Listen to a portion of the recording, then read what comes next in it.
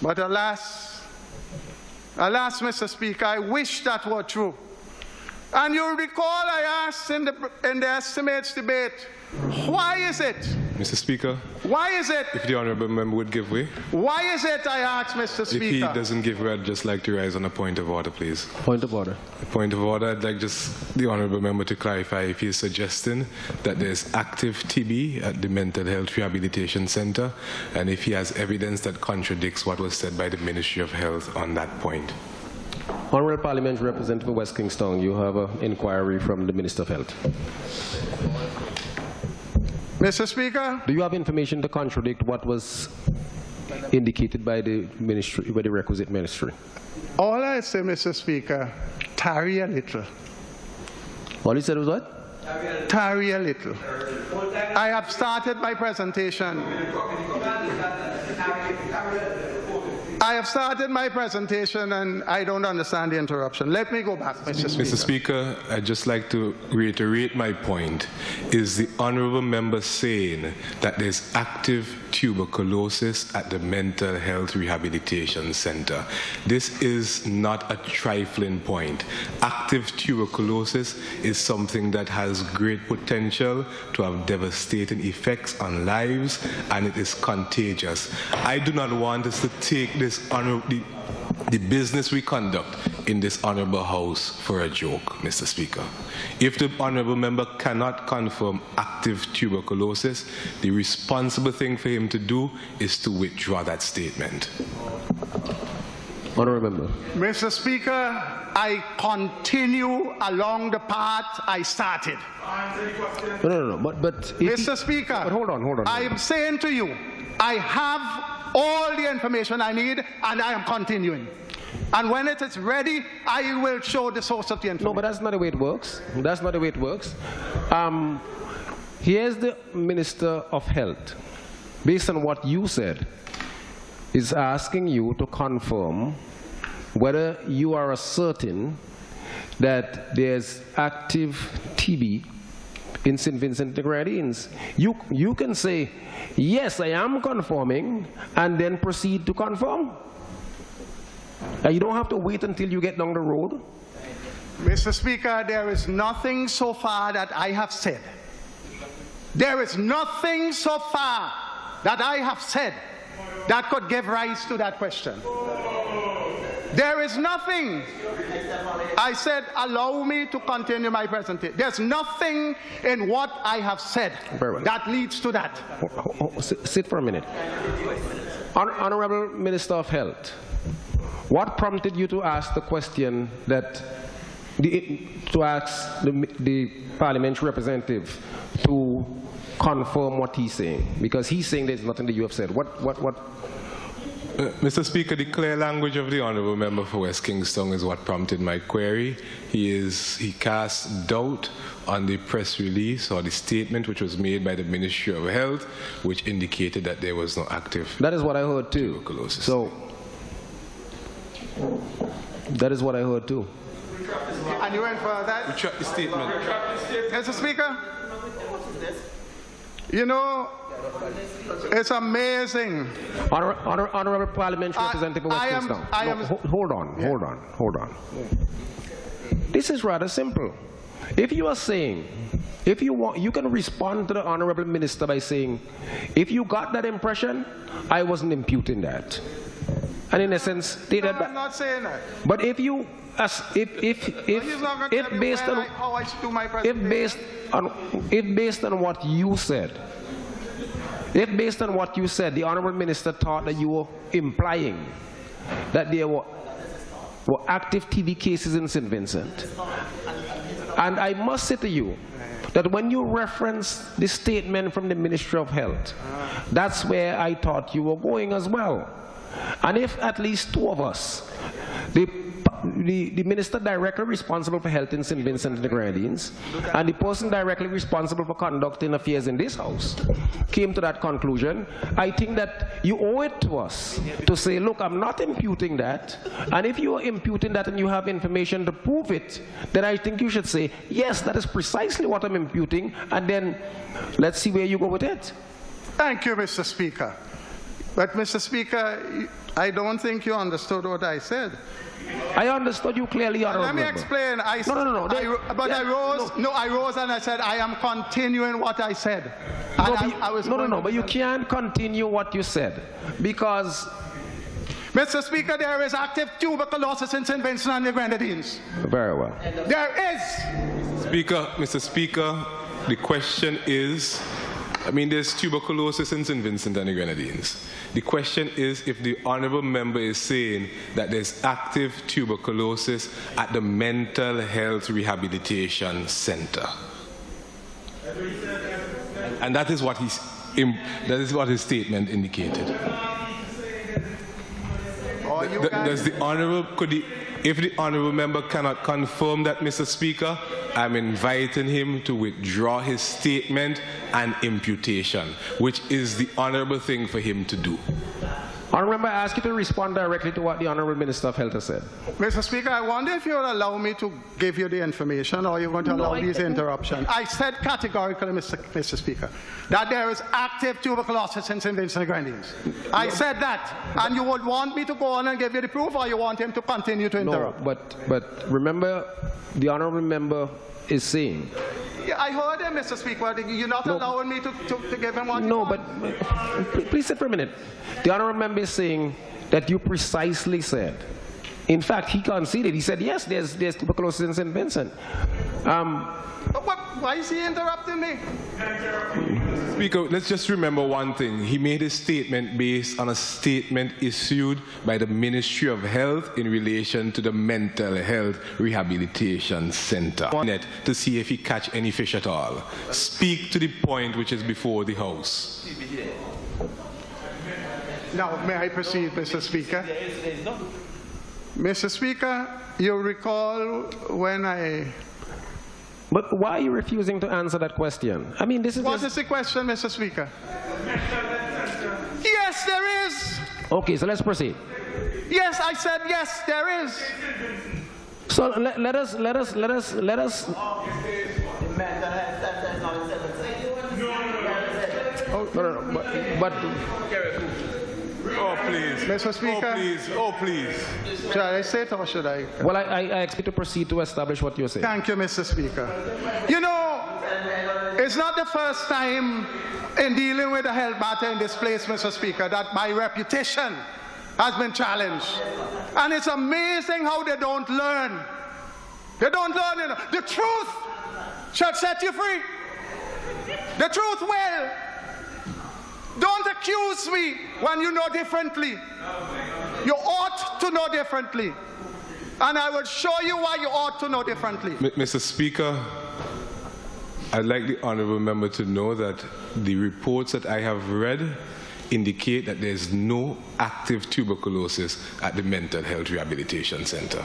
Sleeping is no excuse on the job.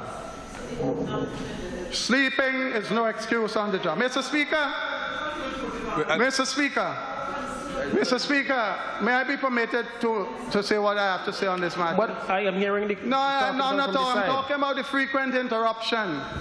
No, but he, from the he's- other side. But don't you think he's interrupting you on a very important point, though? No, Mr. Speaker, he ought to know better if he's the Minister of Health. No, but I he, have the information, so he ought to have it.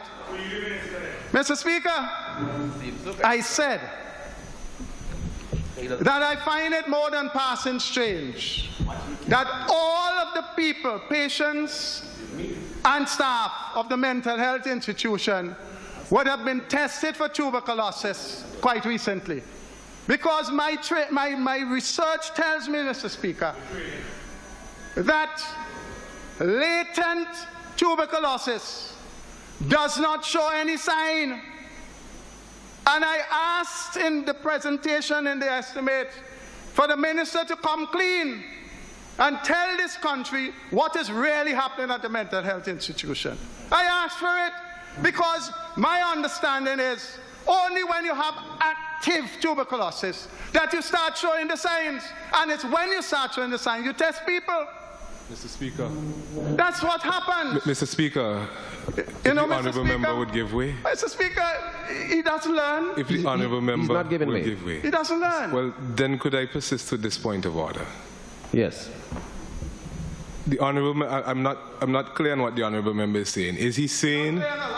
Right, that's fine. But are you saying, because you didn't make this explicit statement, you said yes, there is, you didn't go further than that. Are you saying that there's active tuberculosis at the Mental Health Rehabilitation Center? And uh, are you suggesting that because persons are tested, that that is an indicator that there's active tuberculosis there? But he said a little bit more than that. He's, what, what is the additional thing that he added to it? The, the, the, lit, the little bit more, and I'm, I am not a hmm. doctor, so I can't speak to that. Hmm. But what he did say is that his information, Yes. his research, tells him that if tuberculosis is latent, there, there, there's no, there are no symptoms of it. If it is active, then there are symptoms, and that may prompt a test. That is what I understand him to be saying. Well, Mr. Speaker, pe- persons could be tested for tuberculosis with or without symptoms. The bottom line is, and I have seen the reports on this subject, Mr. Speaker, that there's no active tuberculosis at the Mental Health Rehabilitation Center. Yes, there's latent tuberculosis, as has been established.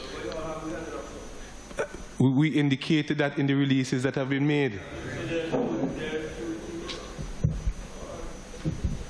Proceed, please. Mr. Speaker, you know, if this matter weren't so deadly, it would be funny. Because when you have episodes of this kind, it is imperative that those who are at risk be given an opportunity to take the necessary precautions. My information tells me that when you've contracted this disease, you need at least six months of treatment, sometimes six months to a year, continuously. And what is more, that there's evidence that there's some strain which are resistant to the treatment.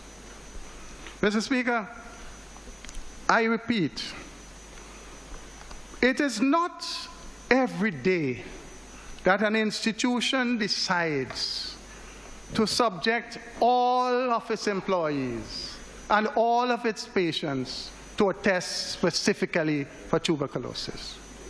Mr. Speaker, I have information which tells me that the staff of the mental health institution applied for and got time off because of their recent exposure to a patient who had active tuberculosis, which patient has subsequently died.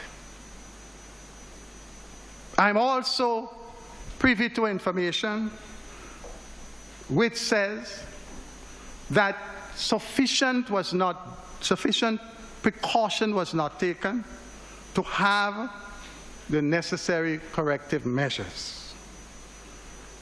And Mr. Speaker, I ask the minister to come clean and tell this country what is happening at the mental health institution with respect to tuberculosis. That's all I ask for because I keep saying when there are incidents in, in healthcare, when there are incidents in healthcare, it is not a matter of politics. Healthcare is about saving lives, and if you have a dangerous situation, tell the people what the problem is, what steps they need to take. Mr. Speaker, I was in, in church two Sundays ago. Surprise you, eh? There's a lot you don't know anyhow. Mr. Speaker, there's a, a gentleman who is in and out of the mental health institution two Sundays ago. And he came and sat towards the back of the church, not far from me on the other side. And he started with this for about five minutes. And for the next 20 minutes, Mr. Speaker, it was one of the worst cough continuously I've ever heard. I'm not a medical person, but my reading tells me what that signifies.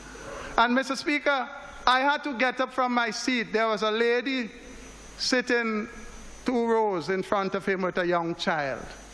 I had to get up and urge her to go forward in the church to escape the cough, whatever the problem is with that person. I say that, Mr. Speaker. You do that even for a common cold and a flu. Anytime people are coughing, especially, and you see, Mr. Speaker, it is the young, the elderly, and those I remember you had to wrap it up, yeah? and those with things like HIV that are most exposed, most likely to be affected by this because of the suppressed immune deficiency. So, Mr. Speaker, health care is not for playing games. Tell the people what is wrong. Tell the people how they can help themselves. Tell them what steps you're taking to prevent the spread. That is all I'm asking for. Don't tell me I don't know what I'm talking about. I've had that before. And you see, Mr. Speaker, it's interesting perhaps when I was dealing with the Honorable Dr. Slater, the Minister of Health was perhaps somewhere trying to get his grades adjusted in court. That's why he missed what happened then. West Kingstown, Mr. Speaker. West Kingstown. I remember you all the time. May I just take a few minutes for my constituency, Mr. Speaker, as, as is the custom. You see, Mr. Speaker, the roads, But I give you time. I give everybody time. Uh, listen, why are we doing this? Everybody gets time. the truth. The I have given everybody time. That's right. That's right. Why are, we, why are we making this into an issue? Jesus Christ. Mr. Speaker, the folks in West Kingstown. Narrow politics wouldn't carry us very far. Thank you, Mr. Speaker. Thank you. Especially But the when, when rules they're allowed you to speak time and time again, Honorable Minister. The people in West Kingstown, Mr. Speaker, are not going to expect much from this budget. I want the people in Rose Place in particular to understand that the government has to come up with the money to relocate them. And I see no, no real provision for that. I want them to know that the bypass road, which would enhance the lives and livelihood of the people throughout that constituency, is not provided for in this. And Mr. Speaker, lastly, I listened with interest to the Honorable Minister of Finance in dealing with geothermal energy, stating that pretty soon we'll have a switch from 80-20 as it is now with carbon to renewable to the reverse. 80% would be from reverse. I want to tell the people of West Kingstown, in particular the people of Lowmans Bay, he seemed to be suggesting that we could, we could build a, a hotel at the site in Lowmans Bay, since we would need that massive storage facility. If what he is suggesting is correct. The Lowmans Bay is a beautiful bay, which was polluted by that project. There's very few places left for that kind of development so close to town. And I, I, it's interesting, you can design around those tanks different kinds of um, facilities. Being a little facetious, Mr. Mr. Mr. Mr. Speaker, but just to say, just a little bit. But just to say, Mr. Speaker, it, no, it speaks to the necessity for careful planning. You know, when we invest in those kind of You got to wrap it up, Minister. capital projects, Honourable member. we must take cognizance of the changing trends. Thank you very much, Mr. Speaker.